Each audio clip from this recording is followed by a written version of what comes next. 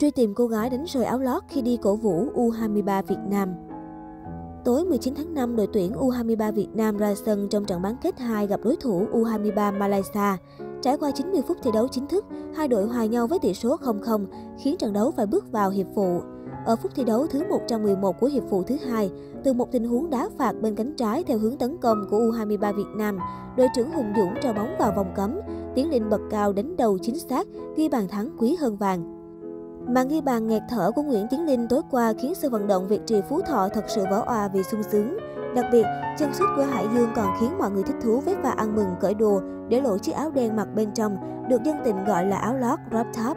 Hiện ngoài bàn tán rôm rã về chiếc áo của Tiến Linh, cư dân mạng đang khẩn thiết tìm chủ nhân bộ vỏ loa mà chị em nào đó đã đánh rơi khi cổ vũ tuyển Việt Nam trên sân vận động Việt Trì Phú Thọ tối qua.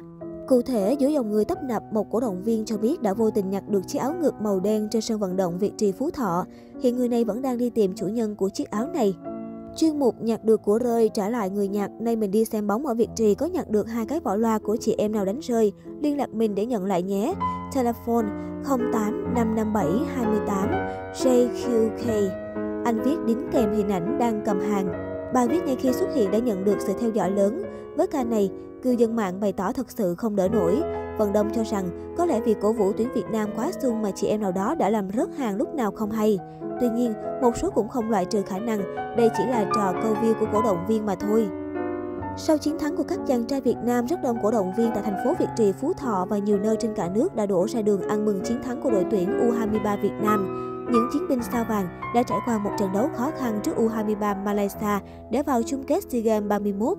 Ghi nhận của phóng viên tại thành phố Việt Trì, Phú Thọ, ngay sau khi trận đấu giữa U23 Việt Nam và U23 Malaysia kết thúc, rất đông cổ động viên đã đổ ra đường đi bảo. Tiếng hò reo Việt Nam vô địch vang lên khắp nơi. Nhiều người dân hai bên đường đại lộ Hùng Vương còn mang cả mâm son chậu ra đường gõ chung vui. Một đoạn đường dài trước cửa sân vận động Việt Trì bị tắc nghẽn. Nhiều ô tô, xe máy đứng một chỗ để hòa chung với không khí chiến thắng của người hâm mộ. Rất đông người hâm mộ cầm cờ ăn mừng trên đường đi bảo. Một người phụ nữ mang mâm ra đường gõ chung vui niềm vui chiến thắng cùng người hâm mộ. Nhóm cổ động viên người cầm son, người cầm bát, người mang cả thùng sơn ra gõ. Một người dân chia sẻ, lần đầu tiên người dân tại thành phố Việt Trì mới được sống trong không khí náo nhiệt của bóng đá đến vậy. Các trận vòng bảng dù Việt Nam thắng nhưng người dân không vui mừng như hôm nay. Chúc mừng U23 Việt Nam đã vào chung kết. Ghi nhận tại Hà Nội vào tối 19 tháng 5, rất đông người dân đã đổ ra đường ăn mừng chiến thắng của đội tuyển U23 Việt Nam trước đội tuyển U23 Malaysia. Từ 10 giờ 30 phút, hàng nghìn người dân cùng phương tiện di chuyển về phía Hồ Hoàng Kiếm tạo thành một đoàn bão dài với cờ đỏ sao vàng và những tiếng kèn náo nhiệt.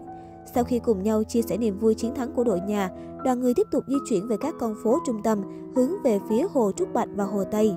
Trao đổi nhanh với phóng viên, anh Nguyễn Trung Hiếu trú tại Hà Nội chia sẻ, anh rất vui mừng vì khi đội tuyển U23 Việt Nam đánh bại U23 Malaysia để thẳng tiến tới chung kết SEA Games 31 với thành tích bất bại và không để lọt lưới bàn nào.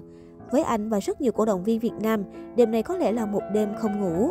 Tương tự tại thành phố Hồ Chí Minh sau trận đấu, hàng ngàn cổ động viên cũng mang theo cờ kèn đổ ra các tuyến đường ở trung tâm thành phố để ăn mừng. Một gia đình gắn trên khung sắt hình ảnh một chiếc cướp di chuyển bằng xe máy qua nhiều tuyến đường ở quận nhất trong sự reo hò phấn khích của nhiều người. Hàng ngàn người chạy xe máy qua các tuyến đường Nguyễn Huệ, Tôn Đức Thắng, Hàm Nghi. U23 Việt Nam có một trận đấu khó khăn trước đối thủ U23 Malaysia, nhưng bàn thắng phút cuối hiệp phụ thứ hai của Tiến Đình khiến người hâm mộ cả nước vỡ òa vui sướng. U23 Việt Nam tiến vào trận chung kết gặp U23 Thái Lan để bảo vệ tấm huy chương vàng. Đây sẽ là trận chung kết trong mơ tại SEA Games năm nay. Theo ghi nhận, đến 23 giờ, nhiều tuyến đường ở quận nhất vẫn còn khá đông đúc người dân ăn mừng sau chiến thắng của U23 Việt Nam.